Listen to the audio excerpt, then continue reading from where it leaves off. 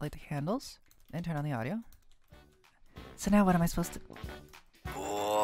You're asking my name, human? What do you offer? I'm here.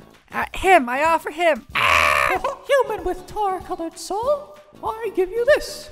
An identifiable small object. Hold on to it for an occasional clairvoyant dream. Gauge the troubles ahead.